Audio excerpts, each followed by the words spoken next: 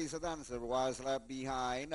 It's now entry number three. That's Copacabana. Moving up now, Dizzy Feet. Silver glides around the outside now. Our will survive. Then followed by Showmaster. Luck to win.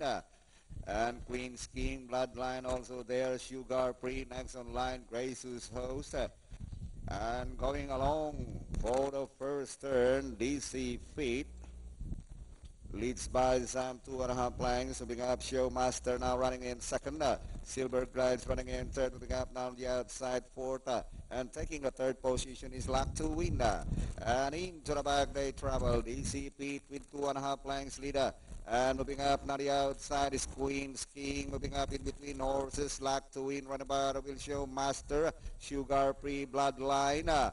And nearing the last 600, Dizzy Feet and Queen's King now the outside.